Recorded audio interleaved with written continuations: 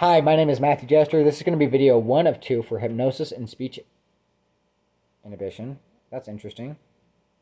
Anyways, video one of two for hypnosis and drawings.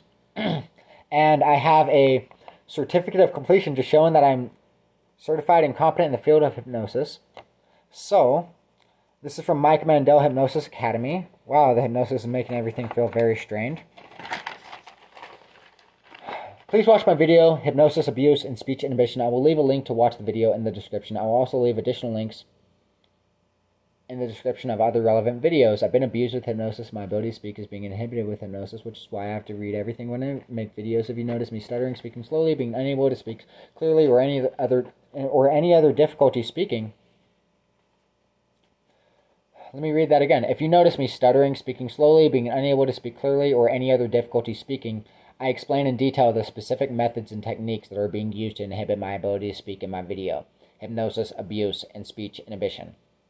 These issues speaking occur consistently in each of my videos, specifically within the first three minutes. The hypnosis inhibiting my ability to speak is often very noticeable throughout my videos, and I will leave a list of the very of the various hypnotic commands that are specifically being used to inhibit my ability to speak that can be re- recognized in my body language, facial expressions, tone of voice, and speech patterns in the description. Okay, let's go ahead and say that again. The hypnosis inhibiting my ability to speak is often very noticeable throughout my videos, and I will leave a list of the various hypnotic commands that are specifically. Okay, sorry about that, blinking, right? okay, I'll go ahead and read that again. The hypnosis inhibiting my ability to speak is often very noticeable throughout my videos, and I will leave a list of the various hypnotic commands that are specifically being used to inhibit my ability to speak that can be recognized in my body language, facial expressions, tone of voice, and speech patterns in the description. Description. In the description.